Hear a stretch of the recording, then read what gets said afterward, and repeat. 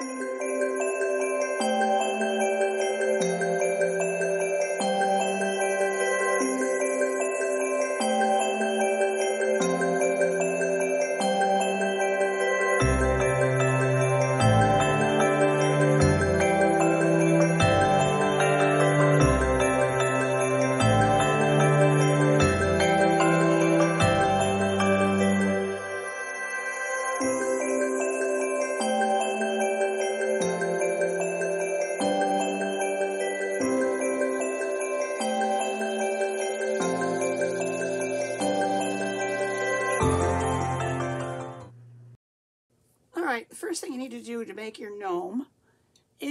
create a pattern.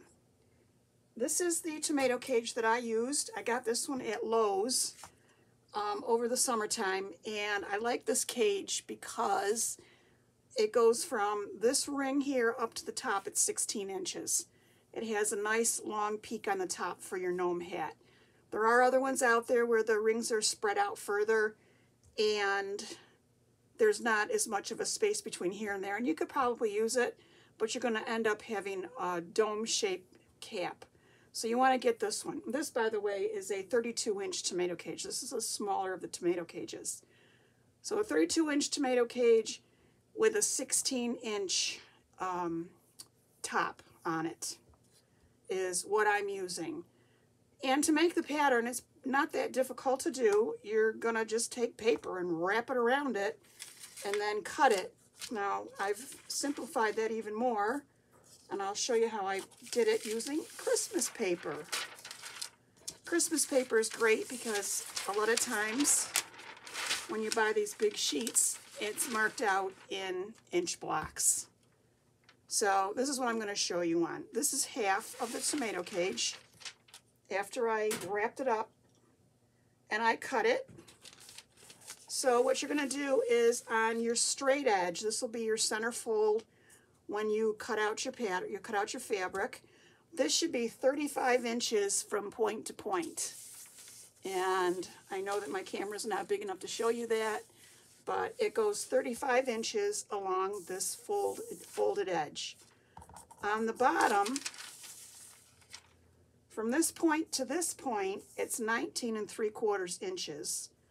And in the center, there's a one and a quarter inch bow. So if you find center, mark down one and a quarter inches and then just draw an arc over that and you'll get your bottom edge. For this edge, there's, you cannot, it's not straight um, because when you pull those points together, it, it does curve that back seam. So this seam is 35 and a half inches. It's a half inch wider. And it does have a slight curve in it. So my suggestion to you is to cut out your 35 inches this way, cut it maybe 25 inches this way or 20 inches this way, and then cut up to your point, leaving you a couple of inches on your paper. And then wrap that around your tomato cage and find out exactly how this one's going to fit the tomato cage that you purchased. All tomato cages are different. I have learned that the hard way. Depending on where you buy them, they're all shaped just a little bit different. So that's how I would do it. Now the next piece is the hat on your gnome. And, oops, I haven't got it all the way cut out yet. Well, let me find my scissors and I will cut it. All I did was I laid this on here again this here is my folded edge, okay? And then I just cut or drew on a curve. I like the hats that kind of come down over the gnome's ears, so to speak, instead of just wrapping straight around. This just gives it a little more character. And so there it is. This fits right in there like that. Um, probably can't see my edge. But then I just cut a curve on it, and that's how I got my hat. And now to get the hat brim, all I did was lay a piece of paper on here. I put my fold up here, and I traced my bottom edge, and then I added two and a half inches all the way around it, and that gave me my upper edge. And that's my fur piece for around my hat. So just trace the edge of your hat however you choose to do it. Measure up two and a half inches all the way across and then make your line and that's how you get your fur. The nose pattern piece, um, I cut this out of t-shirt knit and this is just a four inch diameter circle. It's a little bit over, but it's close enough. Four, four inch diameter circle. Um, and that's what you're going to cut your nose out of. And the arm, you have two choices. Um, this is a pattern piece that I did. Get out of the Christmas paper. oh, excuse me, my voice is a little creaky today. And it's about one, two, three, four, five, six, seven, if you want to count up to here, inches that way. And it's about one, two, three, four, five, six, seven, eight, nine inches going this way. And then just put a couple of curves on it. And you need to have this curve match up with your mitten pattern, which is right here. So make sure that these edges are equal in size so that when you put your mitten on, they will line up. And for the mitten, just cut out a mitten shape. This is four inches by four inches pretty much. Just cut out a mitten shape and you'll have your mitten. The other option is you can just get a sock. Um, these actually I got at the Dollar Tree. I got lucky when I went in there and they had these hanging out. And if you look and you put this right on the heel, you can just cut off the top here and cut off the bottom there and you could use a sock for an arm. Up to you. I'm using the fabric today, but this is an option if you choose to do it that way. All right, once you've got your pattern pieces done, then you're going to lay them out on your fabric, obviously, and you're going to cut them out. Now, um, for the base, this is, get it out here.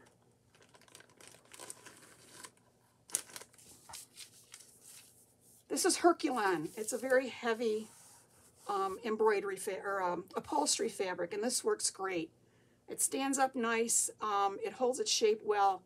The wires on the tomato cage do not poke, do not show through when I use this really heavy fabric. If you don't want to use this and you want to use something lighter weight, then what I really recommend is that you line it with some type of interfacing. Um, there's a choice if you want to for cheap interfacing that works really, really well. And this here is just, it's called Landscape Fabric. And this is what you lay down in your gardens before you plant your flowers so the weeds don't come through. But it has the same consistency as a heavyweight interfacing. And you get 300 feet for $20. So that's a pretty good deal if you want to line your body piece. I really recommend using upholstery fabric if you go in and you can buy remnants. There's lots of different colors that you can pick from. Um, it, it just holds up a lot better. And you only need a yard of it, so it's not going to be really, really expensive. For the hat, I cut this out of flannel. It's a little wrinkly, but I cut it out of flannel. Um, I cut the mittens out of flannel, and I cut the arms out of the Herculon. So cut them out and you're pretty basic how to sew it together. You're just going to sew up your back seam on this and sew up your back seam on that. And that's all there is to do to that. We're going to, so the body's done and the hat's almost done. We just have to put the fur on it. So that's pretty easy. So let me show you the arms. I'll get these pattern pieces out of the way.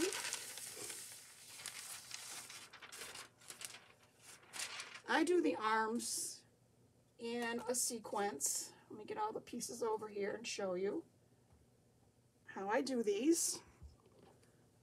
Okay, so the first thing that I do is, where's my first one? Here it is. I stitch up the back seam here on the arm, and then I stitch up the mitten, but I only go up about two or three inches. And then I turn it this way, and I line up my seams and I sew my hand across. Once I've done that, then I turn it right side or wrong sides together, right sides together. And and I'm a real bugaboo about thread colors, so you can see I switched my threads. I sew up the inner seam on the arm, and then I sew around the rest of my mitten, and that's what I get. And then before you turn it, You want to clip down into the thumb. You want to clip into the elbow here, especially on this heavy fabric. And you want to clip the back elbow as well.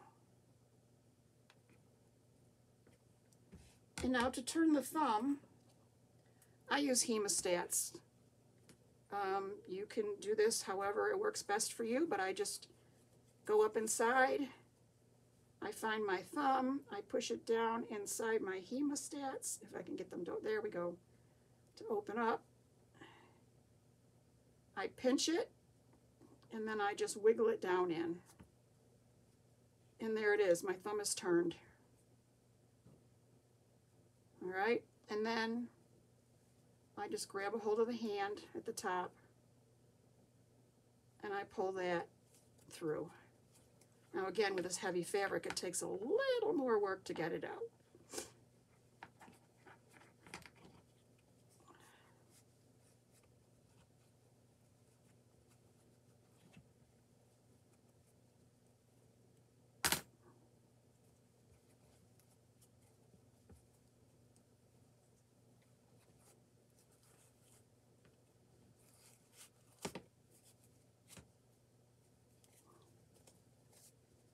There it is. It's all turned. There's my thumb. It's pulled out. And I can just work on it a little bit more. Push it out the rest of the way.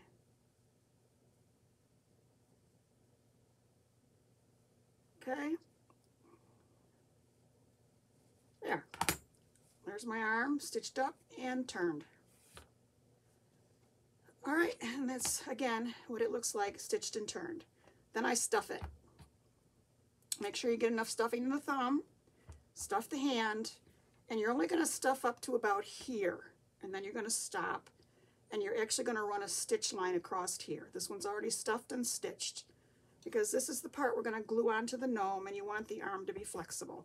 So only leave about two inches at the top, and stitch across your arm and that's all you need to do. Then run a stitch run a stitch across the top as well. I haven't done that yet, but I will. Stitch across the top. And that's how you make the arm. Now the hat. We'll finish up on the hat. Take your hat, and again, you're going to stitch your inside, your back seam, which I've already done. You're going to take, oh, the fur.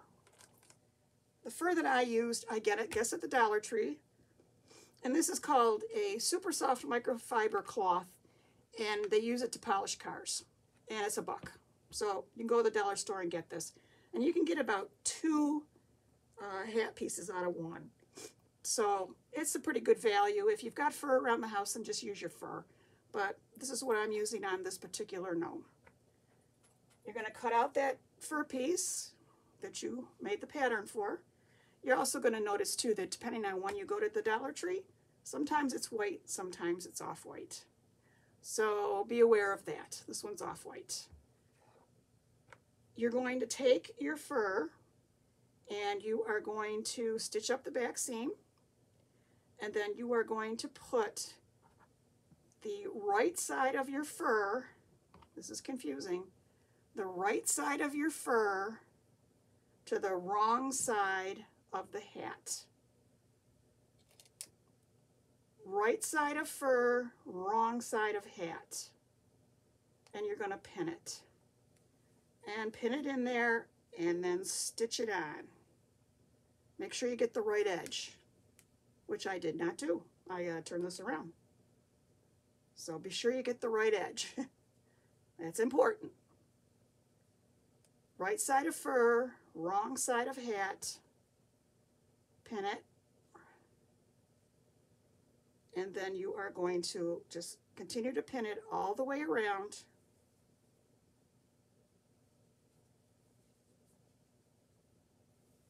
on the wrong side of your hat, like that. So wrong, wrong side of fur, right, right, wrong side of hat, right side of fur, and after you've stitched it on, this is what you'll have. Right here, this is the white one now. That was the off-white one. This is what you'll have. And then when you flip it over, your seams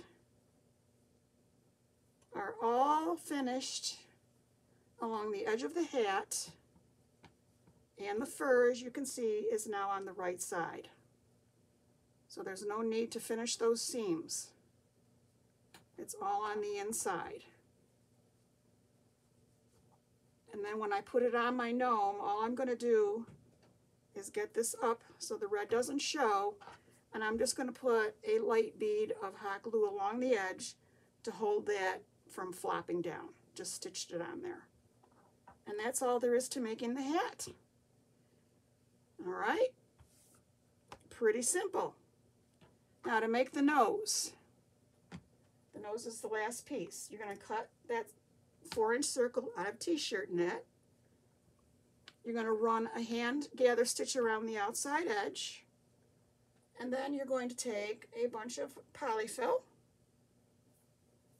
and you are going to, you want to fill it tight. You want it really full. Get a handful of it. I'm using t-shirt knit because it's available and it's easy to get. This is actually, and you could use old t-shirts. You don't even have to buy a new one. You can just go to your drawer or someone in your family's drawer and pull out one that's not looking so good and use that. If you do, then you will definitely have to paint it because it may be stained.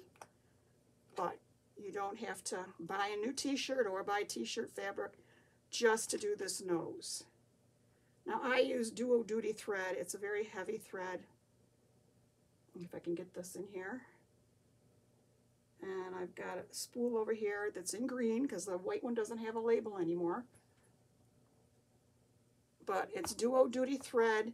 Comes in all colors. I have every color there is because I use this a lot. And you're going to pull the, your gather lines up tight. And then you're just going to take a couple of little stitches and knot this off.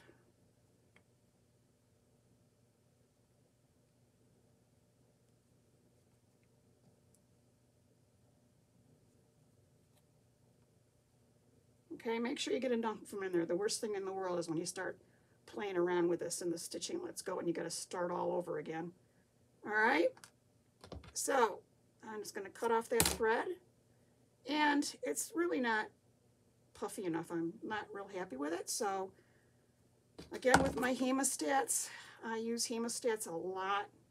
Just go into the nose and dig a hole in the center and start stuffing this in there until you get it nice and full.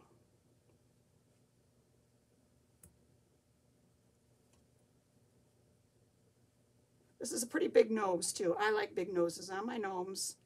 So this is a very large nose. If you don't like it this big, just cut it a little smaller. Don't have to have it this big. And just keep pushing it in there evenly all around. Spread it around. Try to get as many of those wrinkles, at least off the front, as you can. Okay? That's pretty good. Now, you have two choices. You can either leave it like this and then take your a blusher and you can put a lot of blush on it until you get it nice and pink, which I've done. It's, you know, you can do it that way. Or you can paint it and then let it dry you will have to sand it if you paint it. And all I used for this was Ceramcoat uh, craft paint, and this is just a flesh color. And then you're going to do the same thing. Once you've painted it, take your blusher and just start blushing it until you get it nice and pink. He's outdoors a lot. You want your little gnome to have a nice rosy nose. So it takes a lot. Just keep working it until you get it nice and pink and rosy.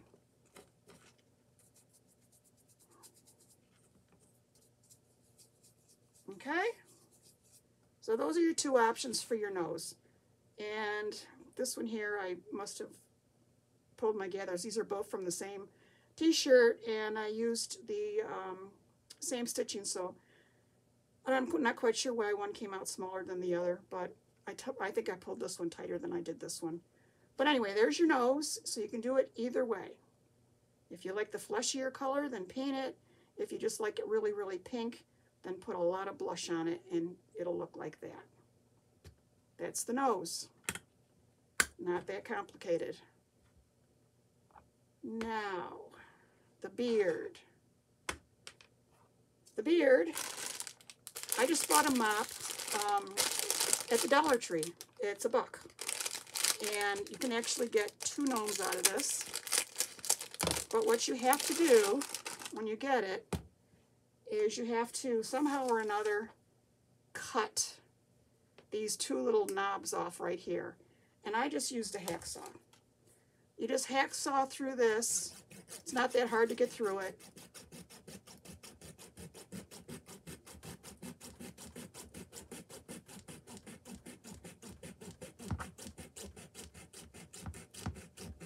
And I think that's far enough. And when you do, oh, a little more.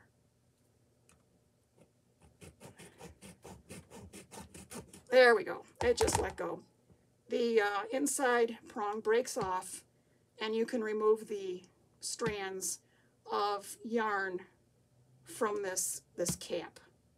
And like I say, for a dollar, you have enough here to do two gnomes. That's a lot of um, strands. You will not be able to find yarn this inexpensively. Uh, and this really makes a great uh, beard for your gnome. So that's how you do it. And once you get it out, then you're going to take it to your sewing machine you're going to lay your strands out evenly, even them up.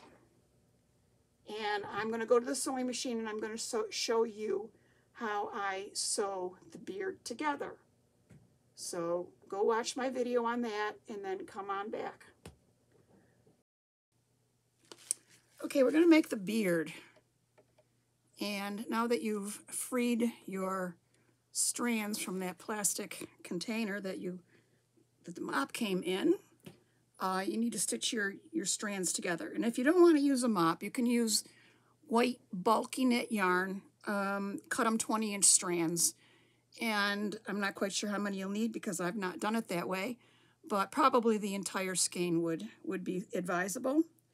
Then you're going to take your skein and you're going to find center and you're going to put your white thread on your sewing machine and what you're going to do is you're going to just put a couple of strands of yarn or the mop underneath the needle in the middle. And you're going to start stitching. I've got four strands here underneath. And I'm just going to start stitching those four strands together. And then I'm going to shove a couple more up underneath it and stitch those together. And then a couple more. And I'm going to keep doing this all the way across my mop. Make sure you stay in the center of your strands.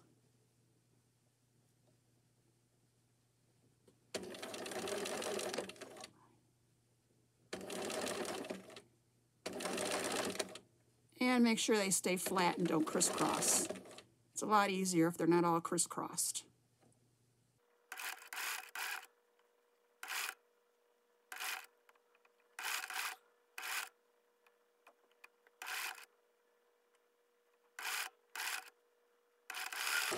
All right, when you get to the end, sew off the end, and then you're going to pick up the whole thing and you're going to turn it around.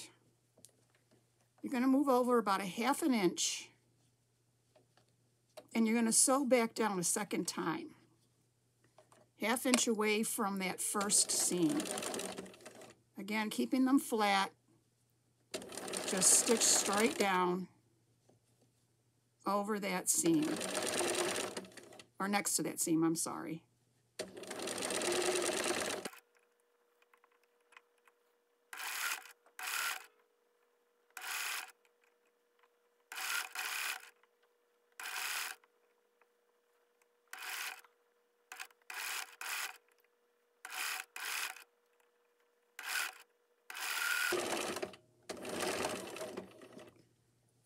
And that's all there is to it. Now you've made the beard.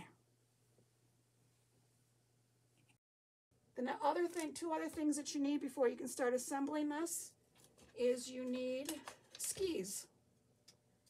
And I found the perfect thing to use for skis. I'm gonna move this out of the way. These are paint sticks for the five gallon pails. They're free. How can you beat that? They're free. Just go to your home um, Depot or Home, uh, Home Depot or Lowe's and ask them. They gave me a handful of these for nothing. And you will have to cut them. But what you're going to do is you are going to use this already natural curve in here. You're going to find center on your stick and you're just going to follow that curve that's already there and you're just going to curve this up and then you are going to curve it down and once again, you're going to take that little hacksaw and you're going to cut that out. Just cut the top off and then take a little sandpaper and smooth it off. Pretty simple. This cuts really easy. It's thin. Um, it's not that strong a wood, so it cuts pretty easy. Then once you get it cut out and sanded, you're just going to put a couple of coats of paint on it. Now I did mine in red.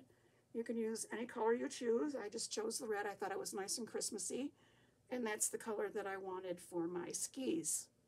When you get them done, then you're just going to crisscross them like so, put a little glue on there, and throw on some decorations, which we will do later.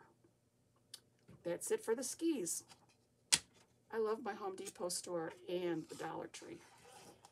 For the ski poles, what you need are two quarter inch dowels, cut 14 inches long. And to get the point on them, I just stick them in my pencil sharpener and it sharpens them right up. Um, the problem is now with the quarter inch is that there's really the hole. These are the two, these are faucet things, which you can also get at Lowe's. I actually got these off Amazon. Um, they're the outside faucet handles and they're perfect. They're red. They look like ski pole thingies and you can just attach them or use these for your ski poles. But like I say, the quarter inch is just a hair bit too big. So I went up about an inch and a half and there I just slightly shaved off the top of my dowel down to the bottom there so, uh, so that I could then get this to fit on. And it's still a tight fit. I want it to be tight and there you have a ski pole. I will put some hot glue in there to make sure that it does not come off.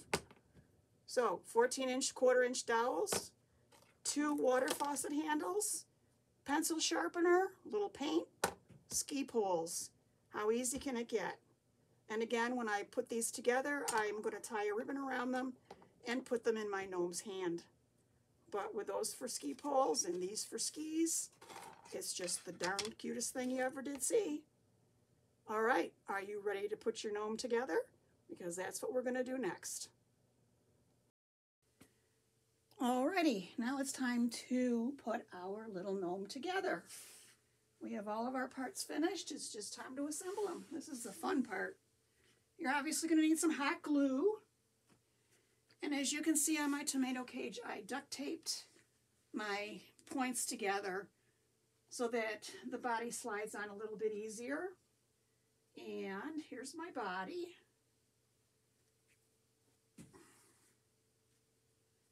On this heavy fabric, I did not stitch the top shut because it's really hard to turn it out. So I just left it open. It's not going to show anyway, but in case you're wondering why that's not stitched, that's the reason why. I need to get in a little bit closer here to do this. You're just going to put your body cover on. And right now he's covered with all that white fuzzy stuff from the fur on his hat. Okay? It should fit fairly snug. It doesn't have to be super tight, but it should fit fairly snug. And the one thing you want to be aware of is that here's a wire right here, and here's my back seam. What I want is I want a wire in the front. So I'm going to turn this just a little bit All right, now my wire, my wire's here, my back seam is here, so they're across from each other when I put my cover on. Now I'm just gonna, like I say, this stuff is collecting all kinds of crazy stuff. I'm gonna flip this over to the side like this. I'm gonna pull it down tight. And I'm just gonna start gluing it.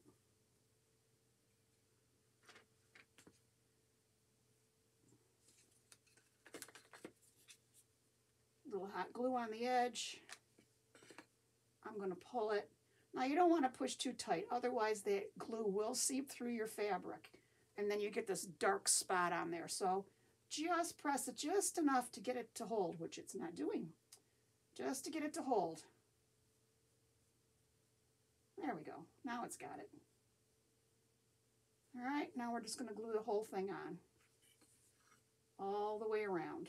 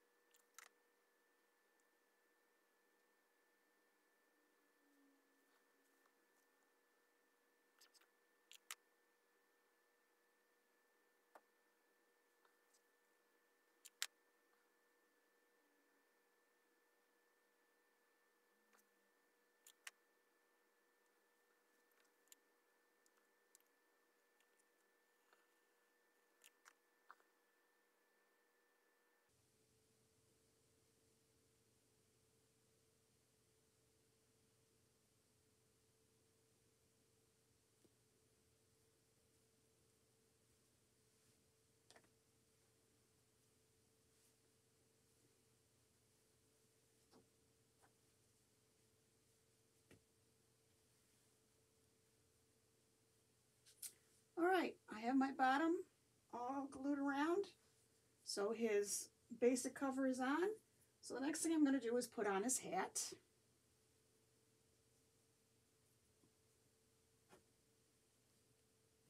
And you want to put the back in the back, obviously. And again, making sure that the center of the hat lines up with this bar right here, because that's where you're going to put your nose.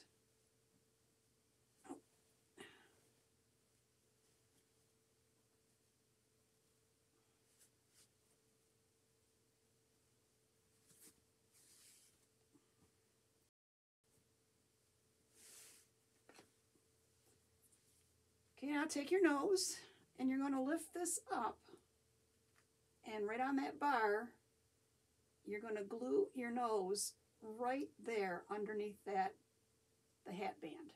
You want it under the hat band.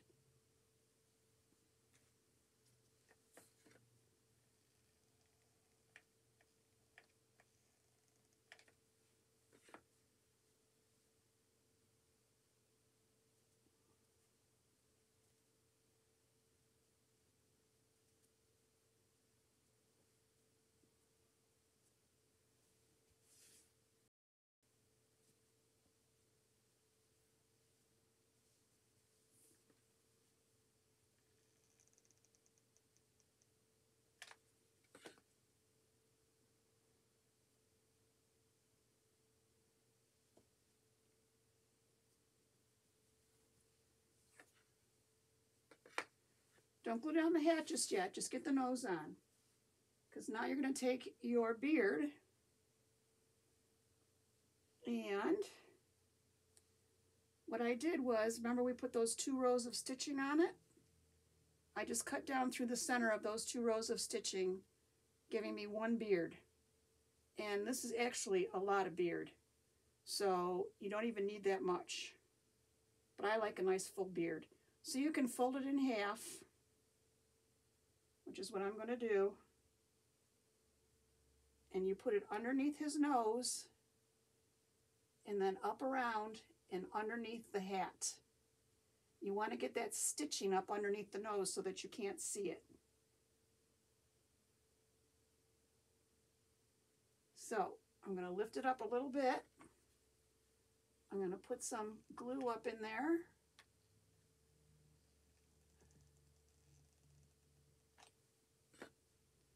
I'm going to find center. And I'm going to push this up underneath his nose. Like that. And then I'm going to put more glue on there. Go around the nose and under the hat.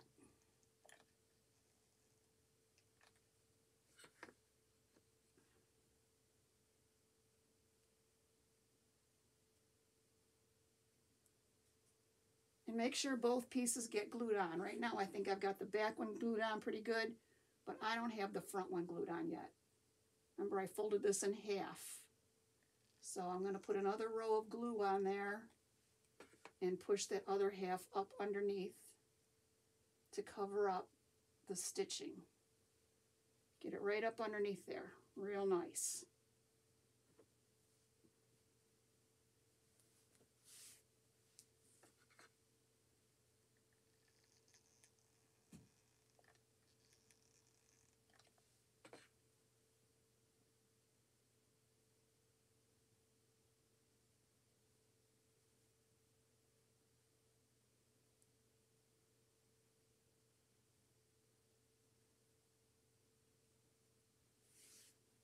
Okay.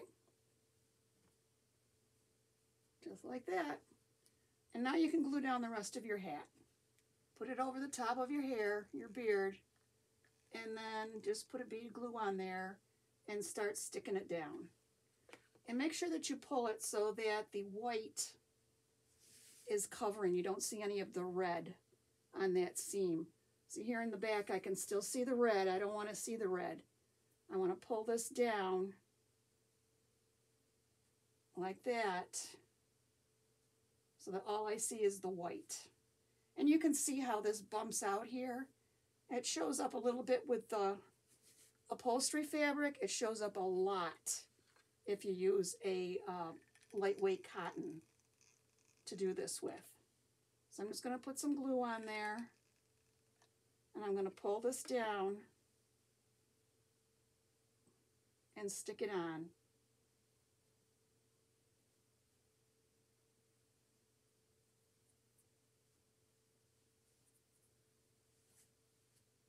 And a little bit more up over here on this side.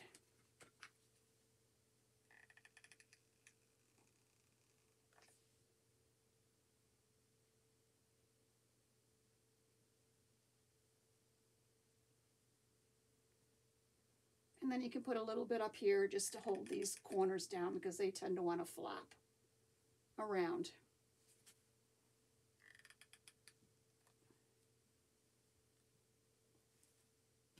And there he is from the front. All right, now you're going to take your arms. And what you're going to do is you're going to figure out, oh, I forgot, I made a mistake here. Hold on. The arms have to go up underneath the hat.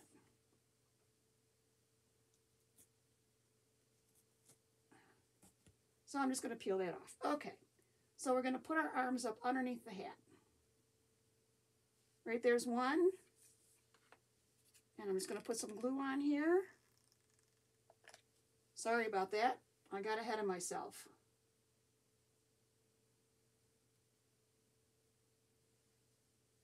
All right, now I can glue down the, the hat. Over the top of the arm. So that covers the arm seam.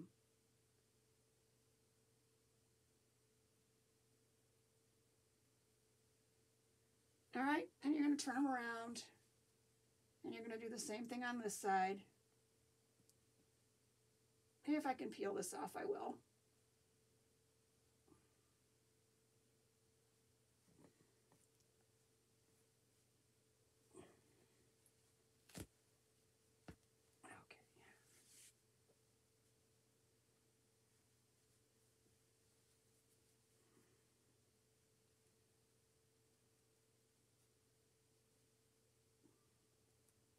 Make sure you get them on even. You want them even, you know, obviously, for obvious reasons. So this is where I want it.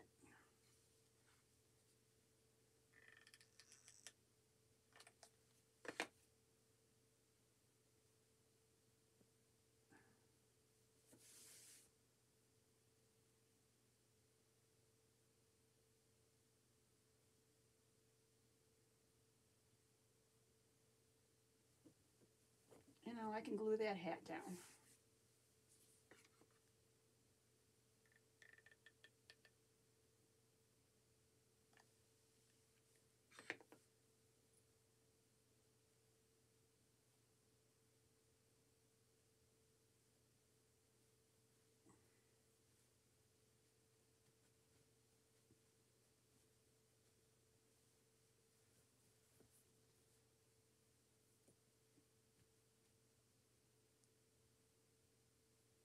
Okay? There he is all put together. Now, what I do is I take my beard and I untwist it. And I peel it apart. Four strands. I do this with the entire beard.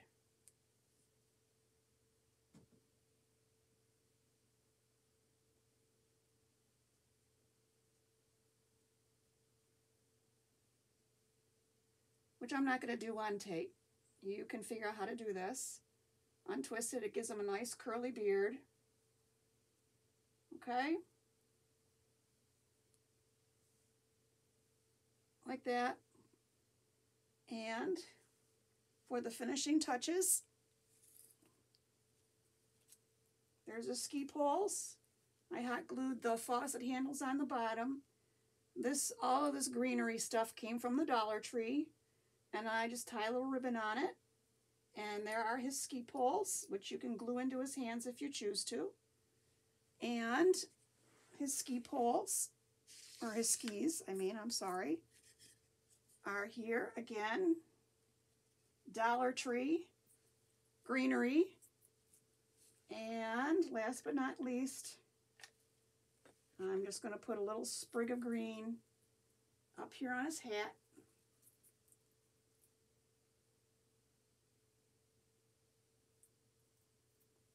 And then the last thing that I do when I get these all untwisted is I put two braids in on either side and tie a red ribbon around them. And again, from the Dollar Tree, you can purchase these battery operated lights. This one I got at Halloween, so they're just white lights. But the one in the background, you can see, I'll move him forward.